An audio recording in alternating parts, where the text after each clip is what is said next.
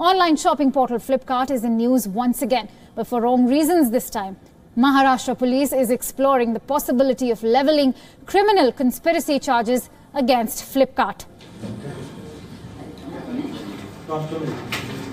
The Aurangabad crime branch recovered a consignment of 30 weapons, including 12 swords and 16 knives. These weapons were allegedly ordered online through the e-commerce firm.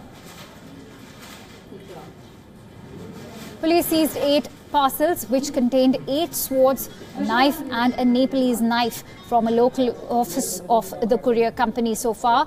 Seven people have been arrested in the case, two from local courier company. Flipkart might get booked under 120B of IPC. Maharashtra's opposition party is now demanding ban on the online shopping portal. And to bring us more details on this news story, I am joined in by Pragya Jha, correspondent from Mumbai. Pragya, what is the latest that you have on this news story?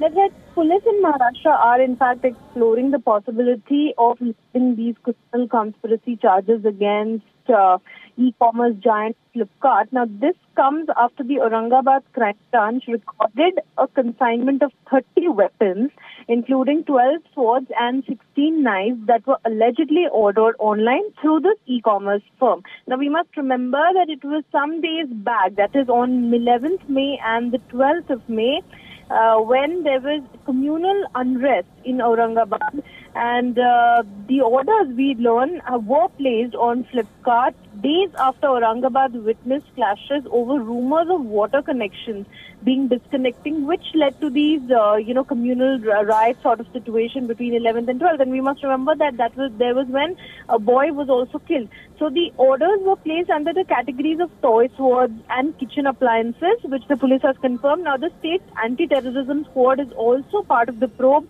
uh, because they're going to be probing into this as to um, how, uh, looking at the situation, did the uh, did the Flipkart company All right, uh, so that was Pragya Jha bringing us the latest details on the story. As we informed you earlier that a cache of weapons has been seized by the Maharashtra police and the opposition party in Maharashtra is demanding a ban on Flipkart because that is the e-commerce site where the order of the weapons was placed.